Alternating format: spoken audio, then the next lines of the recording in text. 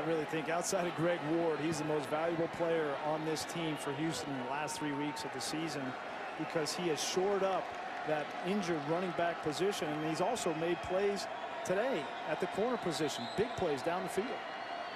We saw the speed on their last offensive play. They're in the red zone now. And here comes a reverse and a reverse pass. Ayers to the end zone. Wide open man. Touchdown. Chance